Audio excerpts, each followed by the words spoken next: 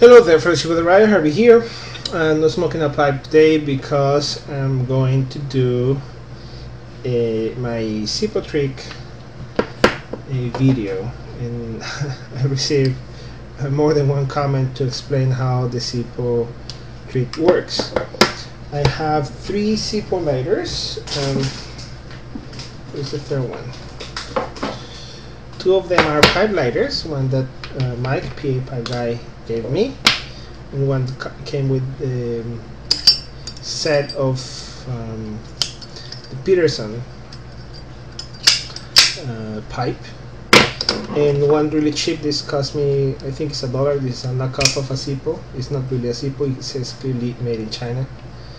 It's, I think the brand is Star, and it's as you can see thicker, right, and heavier. But it, it works to do the tricks. Um, uh, this is the the lighter that I practiced before receiving Mike's lighter. And if you recall, I think as soon as I got it, or a day or a couple of days after, I was doing simple tricks with this one because I already have practice with this one. So the, the trick that you usually see me doing is the following. And, and, and I'll do it once quickly so you can you can see uh, how it how it works.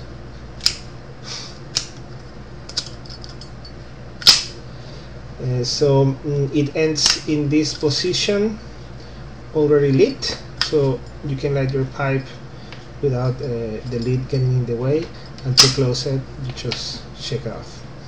So let me explain the first and the last part. And, and disclaimer by no means I'm an expert. I didn't come I didn't come up with these Zippo tricks. You just uh, Google and YouTube you will find instructional videos of the guy or the guys who come up with all these ideas. And these ones are very simple. I've seen all kind of weird stuff but I found those the two that I'm going to explain practical and quick to light your pipe. So the first one is that you have to hold from the lid right more or less in the middle with three fingers right and you shake it. As you shake it it will open and it ends like this right? Then you use the middle finger and your ring finger to put it in the middle of your two fingers. And you what you want to do is to shake it this way very similar to what you would do with a with a pen like this. So you you rotate it this way over your middle finger. And in this position you use your index finger to make leverage. As, as you're doing this position, position, you should have a pretty good grip on the lighter and then here you can strike it and light it up. Then you move it away and you have your light up. Once you're here, it's a matter of close it up. Perhaps I, I left away a little bit uh, after the strike because I was concerned that I wouldn't burn myself so we'll go back to that point. So you come here two fingers rotate leverage strike. I'm not gonna strike here. Strike. Flame is there right? Your middle finger is right on, on there so you have to move it. But since the flight is going up it's, it's more or less safe. And and then you can just take it away right? It's here you take it away the middle finger as you rotate the lighter. You see you're here you just strike it and then you rotate it. And once you're here you just shake it. So this is the, the most common one that I do and you can practice just doing doing that exercise. You can just shake it and close it shake it and close it and close it. Even more so, sometimes I just shake it, leave it here, and when I'm here I close it just to practice the rotation of the lighter. There is a second one, and the second one is, is fancier, but it's riskier, but because with this one it's, it's hard to lose the grip of the lighter at one particular moment. There are always two or three fingers holding it.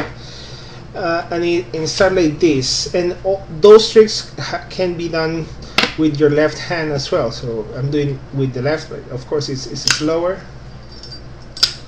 Right? Exactly the same thing. And this one you have to be uh, take the letter uh, with three fingers.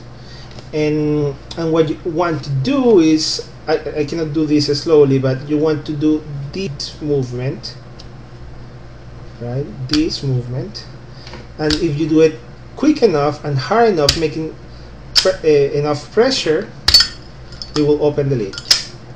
And it's quite impressive because you hold you hold your your lighter like this and then hey, I cannot do it in front of the camera there we go. It's yeah.